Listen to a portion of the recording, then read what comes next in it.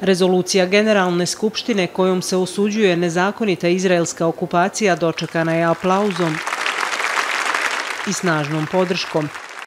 In favor 124. Približno dvije trećine članica glasalo je za rezoluciju poursuite de la colonisation. Ilegalna nasilja ozbiljna su prepreka dvodržavnom rješenju, jedinom kojim možemo postići pravedan i trajan mir, te omogućiti dugoročnu sigurnost Izraela.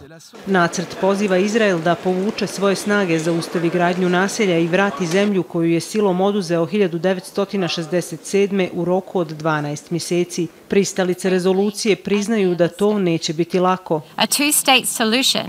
Dvodržavno rješenje mora biti rezultat pregovora, a aspiracije moraju biti ublažene realnim pristupom s obzirom na složenost situacije na terenu.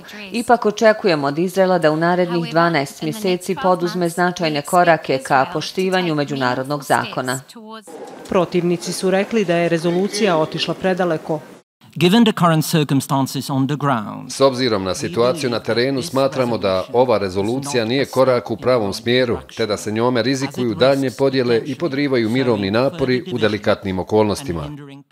Pojedine zemlje priznale su kršenje međunarodnog prava kao što je navedeno u savjetodavnom mišljenju Međunarodnog suda pravde na kojem je rezolucija zasnovana, ali su se suzdržale od zauzimanja strana. The resolution Rezolucija ne pruža jasnu sliku o efikasnom postizanju našeg zajedničkog mirovnog cilja zasnovanog na pregovorima o dvodržavnom rješenju te sigurnom i zaštićenom Izraelu u sigurnu i zaštićenu palestinsku državu.